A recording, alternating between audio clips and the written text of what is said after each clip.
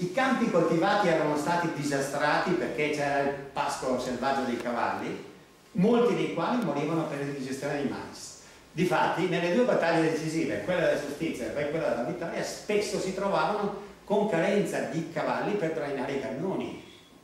che tra l'altro avevano anche le canne usurate per lo più, quindi anche le granate a gas non funzionavano più molto, e perciò è chiaro che le battaglie poi avranno un esito scontato. I bambini sono sempre lì attaccati ai soldati che distribuiscono il rancio e qualche volta vengono contentati e riescono a ricevere un eh, mestolo di, di, di, minestra, qualche altra volta si prendono un calcio sul sedere e devono tornare a casa a stomaco vuoto, quindi succede anche, succede anche questo.